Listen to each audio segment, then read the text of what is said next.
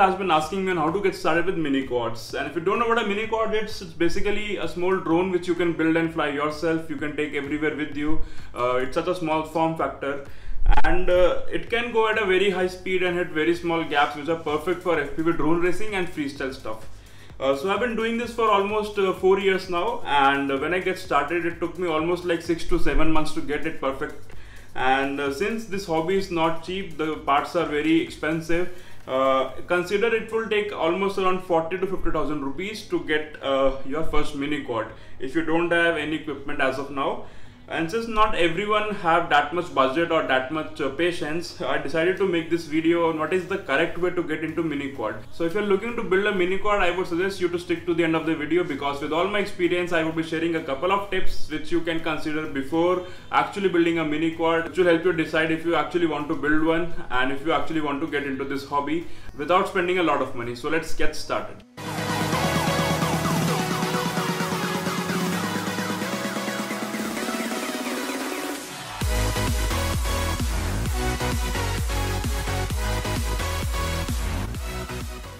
Alright, so the very first option I would recommend is to buy yourself an indoor nano drone. This one costs around for 1500 rupees and uh, since these are cheaply available, they are a really safe budget options for someone who have no prior experience with drones. I would highly recommend it. But if you have some prior experience with drones, maybe you were flying bigger drones or some commercial drones uh, before, uh, and you want to get into mini quad, then I won't recommend this because the transmitter to fly this one uh, is a very toy grade cheap transmitter which won't give you a real life feel. But again if you don't have any prior experience definitely go buy this one. So buying and flying an indoor nano drone is a really great option if you are a complete beginner. But since it is more of a toy it won't give you a real life feel. For which I recommend the second option which is to buy yourself a real RC transmitter. And I know in the beginning of this video I told you this would be a very low budget ideas but hear me out. So having a transmitter opens the door for complete new dimension for you you can not only fly drones and RC airplanes with it, but you can use it for all different kinds of DIY projects based on Arduino and Raspberry Pi and whatnot. So uh, this transmitter which I am holding costs around 3500 rupees uh, which I would recommend you buy if you are on a tight budget. This is a FlySky transmitter FSI6X.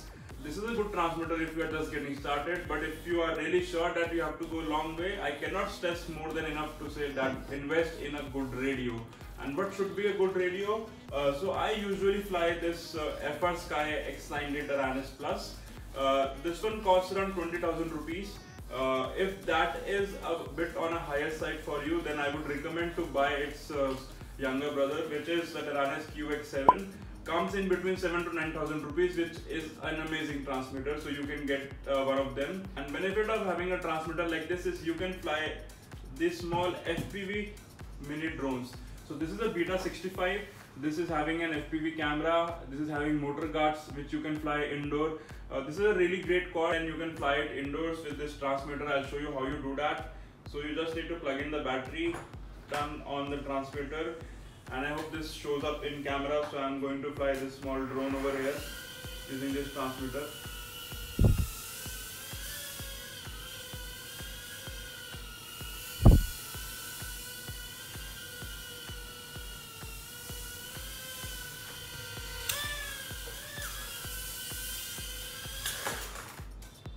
Lot of fun. I can do this whole day.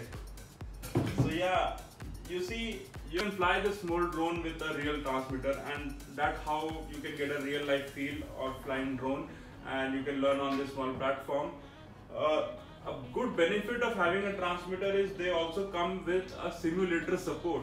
So you can plug a USB at the back of the transmitter and uh, with this USB you can connect to a software, a simulator where you can fly virtual drones, virtual airplanes, you can practice on them, you can crash and reset the game without having to repair anything and that is in my opinion the best thing to get started with drones. And with that said, that's my third recommendation is to use a simulator. So with transmitters like Taranis and QX7, the simulator support is inbuilt. You just have to plug in the USB cable to your computer and you can get the simulator running. Uh, but if you are having a cheap radio like this FlySky, then you have to buy an another cable. This is a simulator cable. I link everything down below. And this cable you can plug in uh, to your radio like this and, and the other side goes to the USB of your computer. So the next question should be which simulator to use. So if you want to practice uh, FPV racing drone, I can recommend two good simulators. One costs around $5 and another one costs around 10 to $15, I'm not sure. The very first simulator I recommend is FPV Freerider which is uh, $5 and you can also uh, get it for free. There's a trial version for that. And the second one is the FPV Freerider. I'll show you both in a bit. Uh, also, if you want to fly planes and not drones, then the simulator cables come with this uh, Phoenix RC simulator, which will give you an RC plane, then FPV drones. Now talking about simulator, you can fly the drones inside a computer with this transmitter. So I'll switch over to the computer screen to show you how simulator works. Alright, so we'll first turn on the video. Welcome to OpenTX. And connect this cable to our computer and to the back of our Taranis.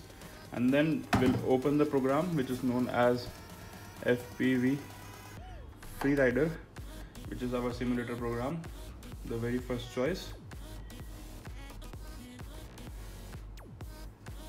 and I can input here that I want to use my USB controller. I can calibrate everything. I have to do this only one time once.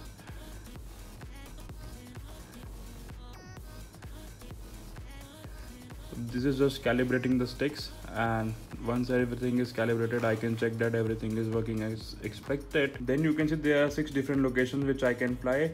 So this is the FPV Freerider full version which costs around five dollars. So I can select anything here. I'm going to select this one because this is one of my favorite location.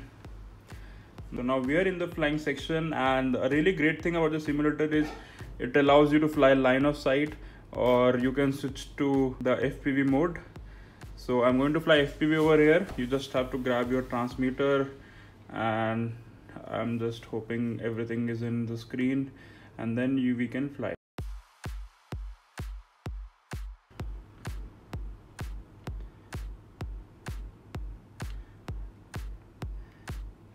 And you can explore the place. You can fly it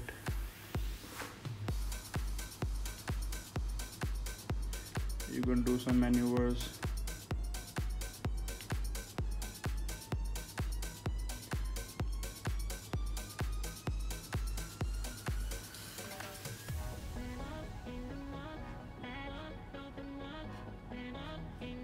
And even if you crashed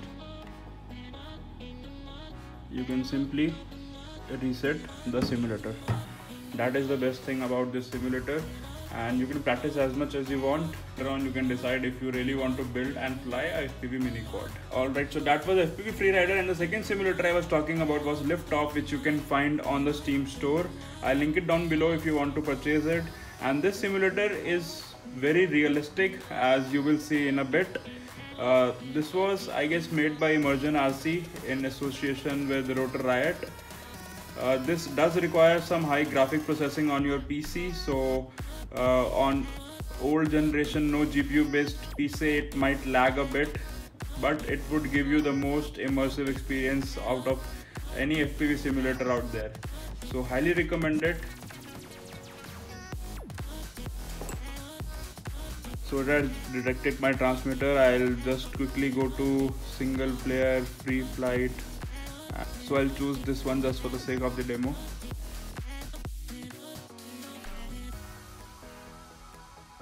and now we are in the flying window so we can again take our transmitter and go on flying. So you can see a bit of graphic lagging there but you can reduce the resolution and fix it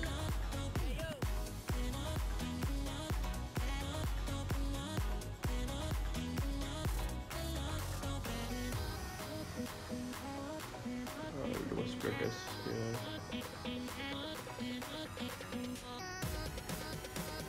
definitely need some tuning. This software definitely requires some tuning but you get that idea right? So that was about fpv simulator and that's all for this video. I hope you get some knowledge of how you can get started with mini quad.